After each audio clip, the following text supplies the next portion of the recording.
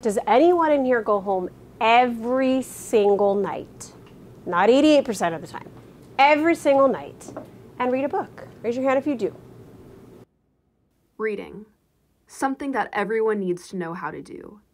But illiteracy rates are on the rise in our youth, and one sixth grade reading teacher has something to say about it.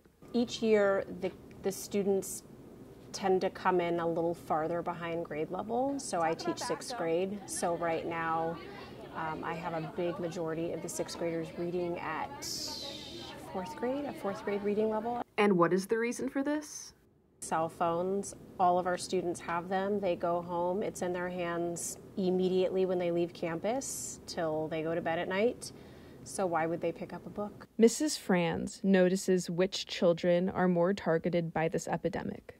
Children that go home to a house where they don't have um, a strong set of parents or a mother or a father or an adult in the house that are there to monitor them, to guide them. So, are there any ways to stop the rising illiteracy rates? I think that we need to stop giving cell phones to kids at such a young age because the minute you give that phone to them, you kind of lose them.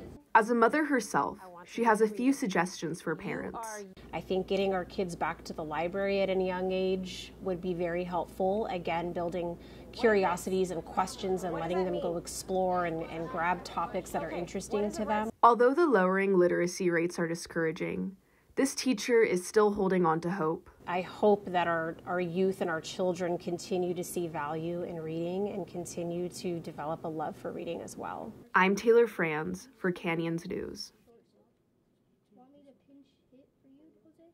He said, kidding.